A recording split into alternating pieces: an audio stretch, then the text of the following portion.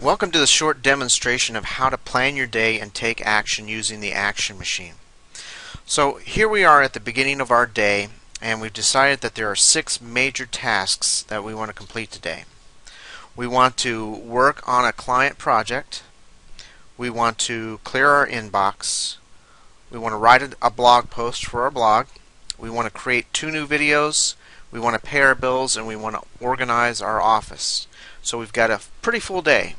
So let me just go ahead and explain to you how and show you how to enter this information into the action machine and put it to use okay? So we have our list of things that we want to do.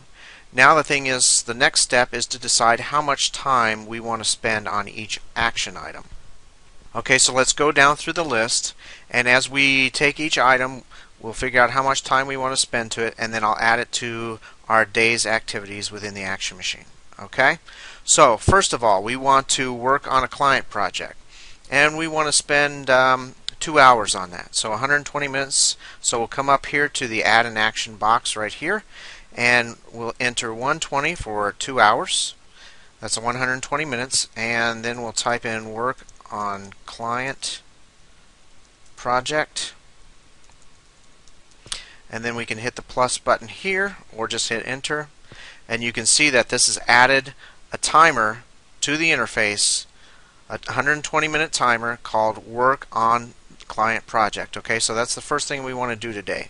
Next thing we want to do, we want to clear our inbox. We want to spend 30 minutes doing that. So 30 minutes clear inbox. Next thing we want to do is write a blog post. That'll take about 30 minutes. So we'll write blog post. Next thing we want to do is create two videos. We'll just set aside another two hours for that. Create two videos. And then we want to pay our bills. That'll take about 30 minutes. Pay bills. And then finally we want to organize our office. So we want to spend about 60 minutes organizing our office. So we'll type in 60 organize oops office and now we have our six things listed. Alright and one of the things that you want to pay attention to now now that we have our day planned out is this total time here okay? This total time shows 6 hours and 30 minutes. Now that's the the total amount of time when you add up all the time that we've set aside for all these six actions that's the time that it's going to take okay? And if you look up here if you put your mouse over in this area it's currently 6:27 p.m. and if I put my mouse over this, if I were to start normally I would start this in the morning. This would probably be 6:27 a.m. but I'm doing this video in the evening.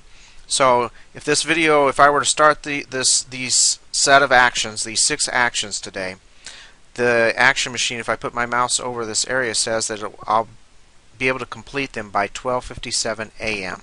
Okay, so that's six hour and a half hours from right now. Now we could look at this and say, well, you know, six and a half hours, that's a pretty full day, but you know, I want to spend a good eight hours getting things done. And if there's something here that I can work on more, let's do that. So I'm going to do that. I'm going to adjust the time here.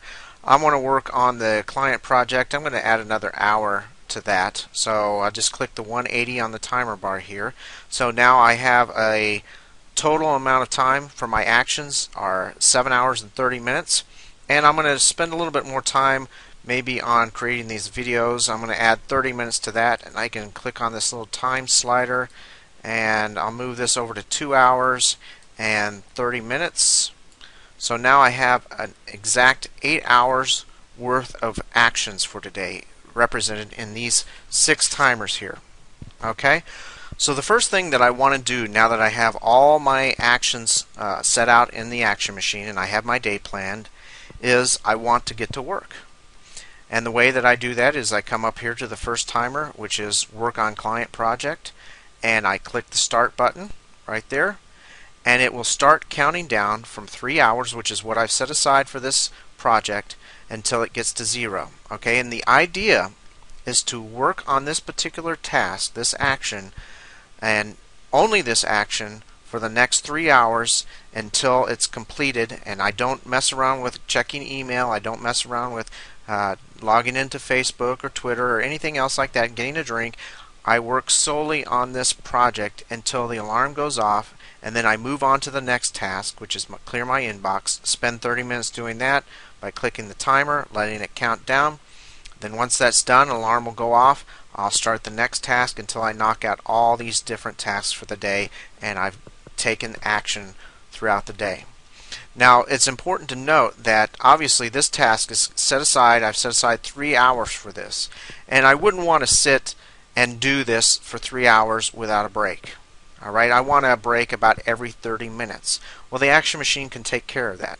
There's a slider right here that says 30, that's set for 30 right there. You can see it, that means 30 minutes. And what that means is when this timer counts down from 3 hours to 2 hours and 30 minutes, you'll get a notification. And it's just a little sound to let you know that, hey, you've spent 30 minutes at work, it's time to take a break. Okay, so what you'll do when you, you're ready to take a break is you'll come over to this break timer on the action machine, decide how much time you want to spend on your break, whether that's 5 minutes, 10 minutes, or 30 minutes if it's a lunch break. And you'll click it. Let's say you want to spend 5 minutes. So you click that, and now the bar on the break timer will start pulsing to let you know that it's activated for 5 minutes. And that, clicking the break timer automatically paused the, the timer that you were working on, the actual timer of working on your client project. And the way the break timer works is now you've got five minutes to check email or get a drink or whatever it may be that you want to do. And this break timer will count down. And once five minutes are up, you'll hear an alarm to say, hey, break's over, it's time to get back to work. Once that happens, I'm going to manually do that because I'm not going to sit here for five minutes, but I'll go ahead and reset that and once that alarm goes off, then you come back over to this timer and click the play button and start work again. And once this timer hits passes another 30 minutes, you'll get another notification to say, "Hey, it's another 30 minutes has passed and it's time to take another break." and so on. Okay, so that's how you manage long tasks using the action machine. Now, finally, what I want to show you is how you kind of track your progress. Now, watch this part of the interface right here when I complete this timer. I'm going to do this manually because obviously you don't want to sit here for three hours waiting for this timer to go down.